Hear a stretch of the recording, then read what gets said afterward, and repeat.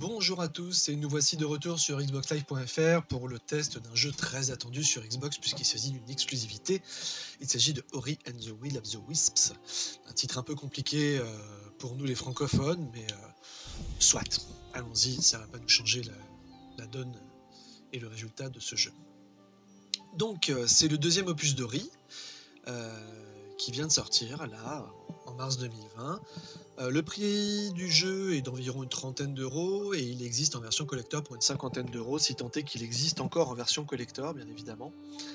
Euh, parce que je pense qu'il a été pas mal vidé euh, dans les boutiques. Alors, bah là on est sur une sauvegarde où j'ai terminé le jeu à 100%, donc le but n'est pas forcément de vous spoiler l'histoire, bien évidemment, mais de vous montrer un peu les différents univers et les différents mondes qu'on peut voir dans Ori. Donc déjà, le premier truc qui frappe, c'est que c'est beau. Le premier était beau, le deuxième l'est toujours. Regardez-moi toute la direction, artistique, pardon. Que ce soit les graphismes, l'animation, la musique.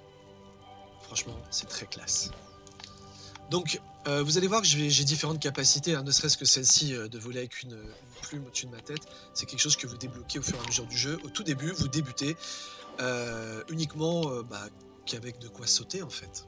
Donc, c'est pas beaucoup, mais c'est déjà pas mal. Euh, petit à petit, vous allez gagner différentes capacités. Au fur et à mesure, vous allez débloquer euh, des éléments sur la carte. Voilà, donc là, on a toute la carte au complet.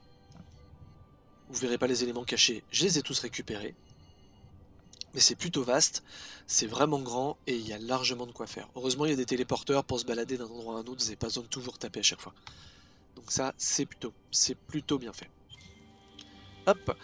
Donc là, on est euh, un peu dans la zone, euh, on va dire, euh, enfin pas dans le hub, mais un peu aussi quand même. C'est la ville où, tous les gentils sont là. Quoi.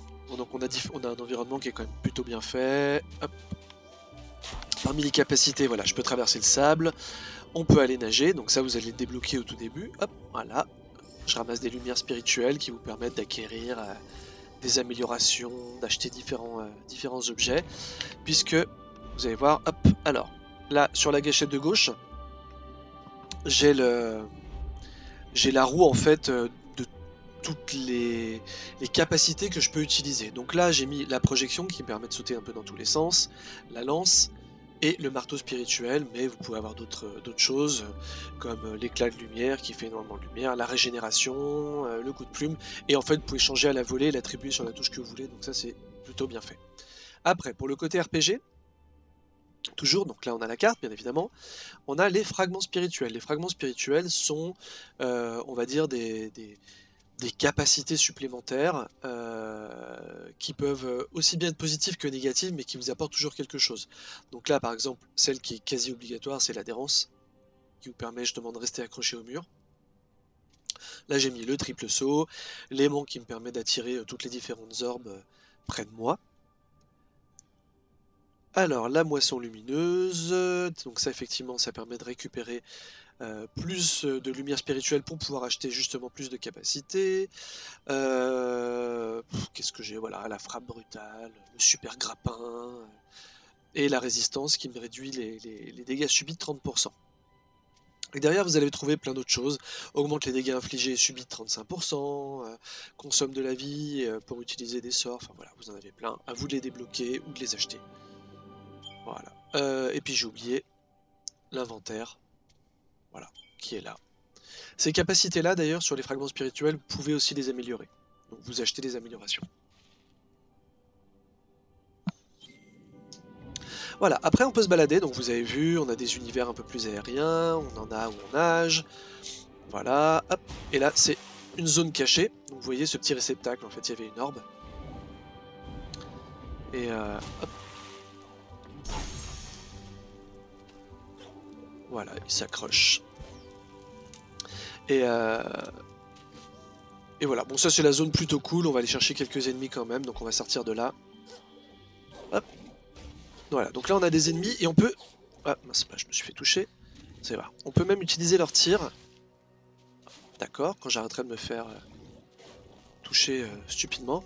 Voilà, hop, par exemple. Voilà, je peux me projeter vers lui. Mais comme je peux projeter son tir aussi vers lui, on va essayer. Hop. Bon. Il y a une courbure dans la chute. Hop. Voilà. Et après tous les niveaux, bah, vous avez des niveaux en fait avec des différents univers. Euh, plus ou moins aériens, avec euh, différentes couleurs. Et, euh, et, à vous en fait de, jongler un peu. Hop. Oh oh oh, t'as essayé de me toucher, voilà, quelques ennemis. Donc là, j'ai un... là je suis un peu en mode super arme, hein, parce que j'ai terminé le jeu, donc j'ai des capacités plutôt balèzes. Mais au tout début, voilà, pensez bien que vous partez qu'avec le saut et à vous de récupérer toutes ces capacités là. Donc vous pouvez grimper, sauter, escalader, vous accrocher. Les ennemis ont, ont, différents mouvements aussi. Il y en a qui sautent, il y en a qui rampent, il y en a qui explosent. Et je joue extrêmement mal pour les besoins de la vidéo. Et du test. Hop. Donc là, c'est vrai que je me promène assez facilement parce que j'ai toutes les capacités à ma disposition, mais euh, vous ne pouvez pas forcément accéder partout tout le temps. Donc vous aurez des fois à revenir en arrière euh, en récupérant une nouvelle capacité pour aller accéder à un endroit supplémentaire, débloquer des items supplémentaires. Euh... Hop là, décidément. Allez, tiens, mange.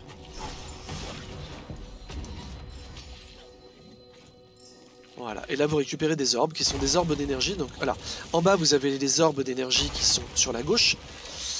Euh, et les orbes... Et les orbes de vie à droite, euh, qui est en fait votre jauge de vie tout simplement. Euh, donc celle d'énergie à gauche permet d'utiliser certaines capacités. Donc par exemple la lance, hop, voilà, je viens de perdre deux orbes. Donc à moi d'en récupérer, donc soit en tuant des ennemis, soit en trouvant des cristaux bleus. Voilà, il y a différentes possibilités. Voilà, donc là on change encore de monde. Oh là là, qu'est-ce que c'est beau. C'est pour l'histoire, euh, bon, c'est une sorte de, fable écologique en fait. Ori, c'était déjà le cas du premier. Mais en gros, la nature est atteinte par un mal et vous perdez un membre de votre famille, si je peux dire comme ça. Et à vous de rétablir, de rétablir un peu le, bien, l'ordre et de remettre un peu la lumière dans la forêt. Et, pour ça, vous allez traverser différents univers donc ça, vous le voyez aussi sur la carte, hein, les différents univers. Par exemple. Donc là, je suis dans un des univers. Il y en a un qui est un peu plus glacé, je crois que c'est celui-là.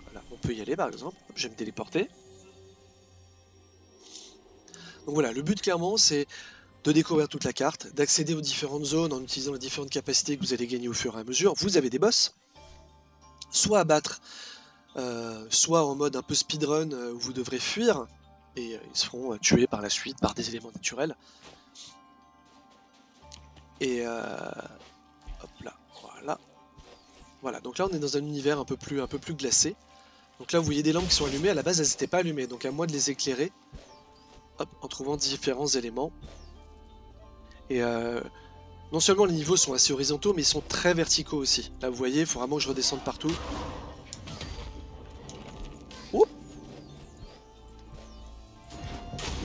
Allez, viens là, toi. Allez, prends ça. Voilà. Voilà, là je récupère toutes ces orbes. Voilà, il fallait que j'allume ces lampes-là qui permettent de réchauffer un peu tout le, tout le, passage de ce niveau-là. Et ouais, on a différentes, euh, différentes sortes d'ennemis. C'est vraiment... C'est vraiment varié.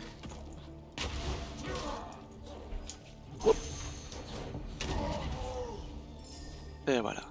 Donc là on voit que par exemple je suis sur une zone un peu plus, euh, enfin une zone de sable. Donc là pour ça il faut aussi débloquer la capacité comme vous l'avez vu tout à l'heure. Et hop, voilà. Ici il y avait une orbe de cachet aussi certainement.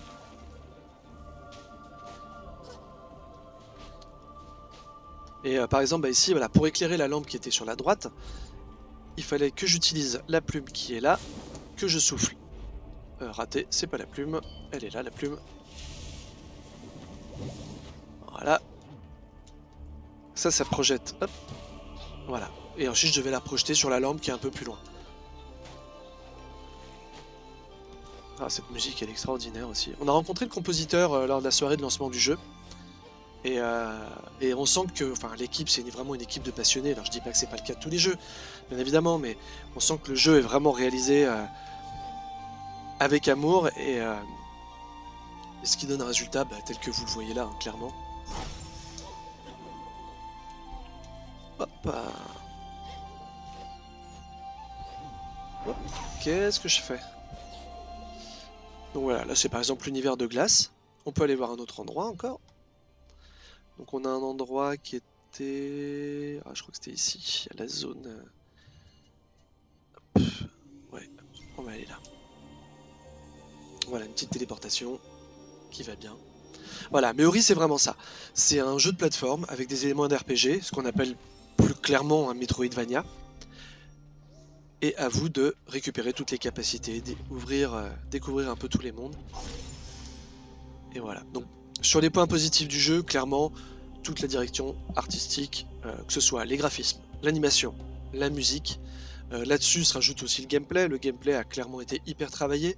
on va dire que les défauts de jeunesse qu'on pouvait trouver sur le premier Ori ont été améliorés et ou corrigés. Euh, ce qui fait que le jeu est très plaisant à jouer, très précis dans les déplacements, très précis dans, la maniabilité, ce qui n'est pas forcément euh, facile avec tous les sauts qu'on peut réaliser, euh, s'accrocher, se projeter, tirer, enfin ça a été vraiment extrêmement travaillé. Et vous voyez tous les effets de lumière quand je me déplace, tous les décors c'est clair et tout, enfin, c'est fantastique, il y a un boulot de dingue là-dessus. C'est complètement extraordinaire. Et voilà. Et vous voyez, chaque monde est vraiment différent. Enfin, il n'y a pas un monde qui, se ressemble. Ouh, j'ai pas remis mon arme. Ouh, j'ai pas remis mon arme. Pas bien. Tiens, prends. Allez, prends, bim.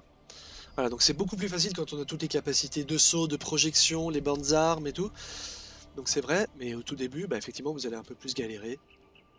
La difficulté est quand même relativement bien croissante, elle est beaucoup plus égale qu'elle ne l'était dans le premier, qui comportait des, passages beaucoup plus difficiles. Là on progresse quand même facilement. Euh, bon, de toute façon, vous le verrez, hein, de la vie générale des joueurs, le jeu c'est pure merveille. Euh, et, voilà, Hop, tiens, un petit cristaux d'énergie. Bon, j'en ai pas, un petit cristal d'énergie. Voilà, et après vous descendez. Hop, voilà, vous pouvez vous projeter. Tiens. Allez, prends. Hop, voilà. Donc là, c'est vrai qu'avec mes capacités, c'est tellement plus simple ce niveau-là. Là, à chaque fois, vous devez réfléchir comment je peux grimper là-haut, comment je vais dans cette direction-là, comment je peux me projeter là, euh, comment j'accède à cette zone-là. Ah, là, c'est vrai que c'est beaucoup plus aisé.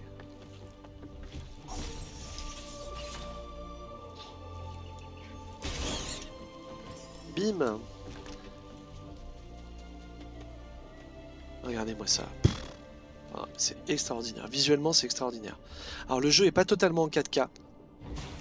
Je pense qu'il y a eu pas mal de limitations techniques qui ont fait qu'ils euh, n'ont pas réussi à atteindre la 4K. Euh, mais honnêtement, on s'en fiche. Je préfère. C'est pas du full, pas du HD non plus. On est au-dessus du 1080p, on est en intermédiaire. Mais honnêtement, euh, je préfère une résolution inférieure qui, qui facilite l'accès à des graphismes beaucoup plus beaux et une animation beaucoup plus fluide que vraiment euh, avoir un pixel de ma télé occupé par un seul pixel du jeu. Enfin, voilà. C'est. Voilà. Après, bon, alors, le jeu a quand même quelques défauts, ne nous le cachons pas. Des défauts qui vont certainement être corrigés dans le temps, mais il comporte, mine de rien, pas mal de bugs. Euh, là, on n'en a pas vu encore, mais c'est vrai que sur certains chargements lors de, lors de téléportation, euh, bah, j'ai eu des frises. Puis alors des frises, euh, bien 3-4 secondes. Hein. Donc ça, j'avoue que sans que, ça, soit gênant dans le gameplay, c'est un peu chiffonnant de se dire qu'un jeu qui a été autant travaillé comporte ce genre de petits bugs. après, il y a d'autres bugs un peu, plus, un peu plus embêtants, comme des succès qui se déverrouillent pas. Donc ça, c'est vraiment, vraiment, vraiment kikinant. J'ai terminé le jeu, j'ai toujours pas eu le succès de, fin. J'ai acheté euh, toutes les améliorations de fragments, j'ai pas le succès qui va avec. Voilà, il euh, j'ai tous les, j'ai ma barre de vie au maximum, il y a un succès qui est lié, j'ai pas eu le succès non plus. Donc ça c'est gênant. Et enfin, euh, parmi les petits, voilà, on a eu un micro freeze d'ailleurs. Et, enfin, parmi les bugs, bah, après il y a eu des, des, problèmes de petits chargements de texture aussi lors de téléportation. Qui sont plutôt liés à des temps de chargement qu'autre chose. Donc ça serait bien que ce soit un petit peu optimisé.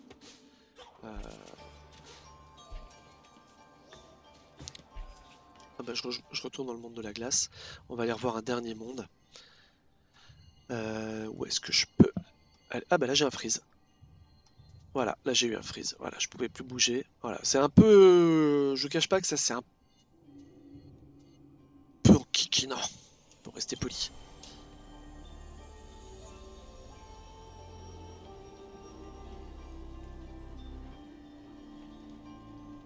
Donc là, si vous suivez un peu euh, soit le Discord, soit le, site du jeu, vous verrez que bon, les, devs sont à fond pour corriger tous les bugs et tout.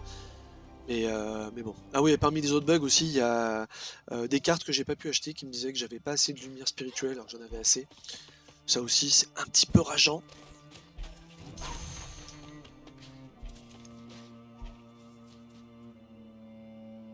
Oui, oh là là, c'est beau. Donc ça, ce sont des arbres de lumière en fait dans lesquels vous trouvez une orbe qui vous donne des nouvelles capacités. C'est vrai que la, profondeur du décor, c'est euh, c'est vraiment impressionnant.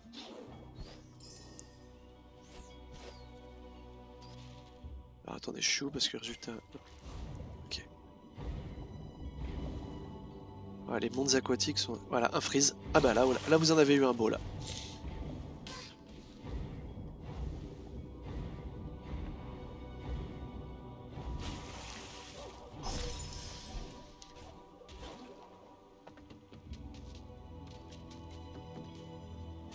Regardez-moi ces décors, c'est extraordinaire. En fait, il y a vraiment un effet waouh quand vous jouez, à chaque fois vous regardez, vous faites mais c'est dingue, tout est vivant, tout est animé, tout bouge, c'est c'est saisissant quoi. Donc voilà, juste un petit espoir pour que les quelques petits défauts soient corrigés. Euh, bon, je vous cache pas que j'étais quand même assez déçu euh, de, de, ces quelques défauts. Le jeu avait déjà été repoussé. Donc je pense que les développeurs étaient au courant de ces petits défauts de jeunesse, mais que bon, il y a un moment, il fallait respecter la date de sortie. Et, voilà, bon, les, les, devs sont vraiment à fond en train de bosser sur le sujet, donc euh, on espère vraiment que ça soit, sera corrigé euh, rapidement. Voilà, ça c'est un point de sauvegarde et de téléportation. Voilà. Voilà, donc c'est Théorie, euh, and the Will of the Wisps, donc un jeu qui est absolument génial. Mais jouez-y si vous êtes si vous aimez les, Metroidvania, mais n'hésitez même pas. Euh, si vous n'aimez pas les Metroidvania, mais que vous aimez bien les jeux de plateforme, allez-y aussi. Pour les autres, bah, si vous avez l'occasion d'essayer, notamment sur le Game Pass, parce que bien évidemment, vous pouvez l'acheter à 30 ou 50 euros en fonction de la version, euh, sachant que la version collector, c'est une version physique. Mais pour les abonnés au Game Pass, que ce soit sur PC, sur Xbox ou en Ultimate, euh, le jeu en fait partie, c'est un jeu Microsoft Studio. Donc euh, allez-y, faites-vous clairement plaisir. Essayez-le, c'est génial. C'est prenant. Il faut compter environ, on va dire 25 heures euh, pour, pour plier le jeu, quoi. Torcher, j'allais dire, mais ouais, c'est ça. Euh, et bah, c'est 25 heures de plaisir, et quand vous l'avez terminé, vous regrettez à mort, en fait, parce que vous dites, mince, ça y est, c'est fini. je le connais par cœur, je pourrais plus en profiter. Je pense que c'est un coup à ce que je le retermine d'ici un an. La, rejouabilité du jeu est vraiment bonne. Donc euh, j'hésiterai pas à y rejouer. Voilà, bah écoutez, euh, eh, pardon, je termine quand même avec la note. Donc la note du jeu pour moi c'est un 9 sur 10. Euh, pourquoi pas 10 Parce que bah il y a les petits défauts de jeunesse, j'espère qu'ils vont être corrigés. Mais pour tout le reste, c'est un sans faute. hormis les quelques bugs, c'est un sans faute. Le jeu est extraordinaire. Il est beau, il est agréable, il joue bien, il est reposant même temps, c'est zen. Les musiques sont pareil, la bande son est vraiment extraordinaire, donc foncez. Voilà, bah écoutez, je vous remercie de nous avoir suivis sur xboxlive.fr. Je vous dis à très bientôt pour un prochain test. Et d'ici là, portez-vous bien. Allez, bye